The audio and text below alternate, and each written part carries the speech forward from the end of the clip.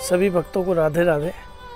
आज मैं आपको राधा रानी के एक भक्त की स्थली पर लेकर आया हूँ। जी हाँ जो कि राधा रानी के परम भक्त हुए तो एक मुस्लिम भक्त राधा रानी के इतने प्रिय हुए कि राधा रानी ने उन्हें अपनी लीला में प्रवेश करा लिया।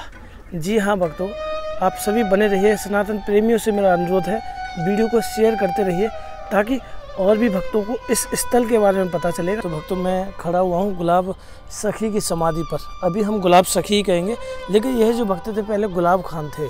गुलाब खान एक मुस्लिम भक्त थे।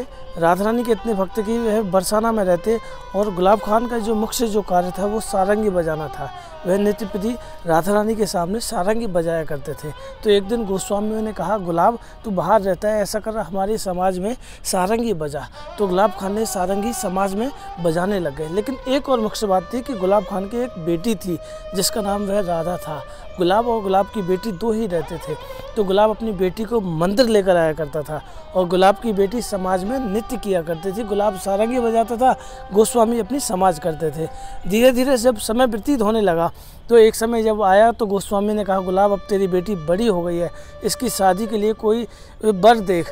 तो गुलाब ने कहा, मेरे पास ऐसा पैसा नहीं है जिससे मैं इसकी शादी भी करा सकूँ और इस बेटी के अलावा मेरे इस दुनिया में कोई नहीं है।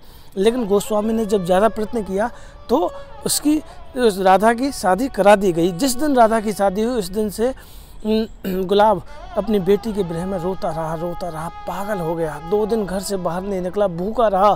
तीसरे दिन वह राधा रानी की सीढ़ियों पर जाकर बैठ गया और रोता रहा कि तीन तीन दिन वह पूरी दिन रात कंटिन्यू रोता रहा।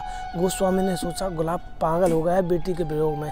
तीन दिन के बाद जब गुलाब वहाँ से गायब हो गया तो गोस्वामी ने सोचा, गुलाब मर गया। गुलाब मर गया, श्री जी का भक्त था तो गोस्वामियों ने यहाँ यहाँ गुलाब सखी की समाधि बनवा दी। कि वह श्री जी का भक्त था। काफ़ी समय व्यतीत होने के बाद, जब एक दिन पुजारी जी, जब राधा रानी की सैन कराने के बाद जब लौट रहे थे तो पीछे से सिंह पौर पर आवाज़ आई, पुजारी जी! जब पुजारी जी ने जब आवाज़ सुनी तो देखा कि वह आवाज़ गुलाब सखी की आवाज़ थी। पुजारी जी ने जैसे ही मुड़कर देखा तो गुलाब सखी सामने मौजूद थे। पुजारी जी ने कहा, गुलाब, तुम तो मर गए थे, तुम कैसे आ गए? तो कहा, मैं तो श्री जी ने अपनी लीला में प्रवेश करा लिया। पुजारी जी कहने लगे, पागल हो गया है, श्री जी अपनी लीला में किसी को प्रवेश कराती हैं? क्या सबूत है इसका?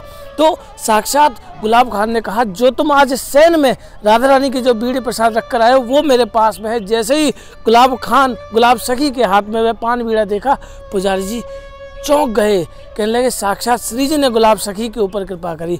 वही गुलाब सखी की समाधि यहाँ आज मौजूद है। आप भी यहाँ प्रियकुंड से तकरीबन थोड़ा सा सीधा आएँगे और थोड़ा सा आधा किलोमीटर पर यहाँ से आपको समाधि के दर्शन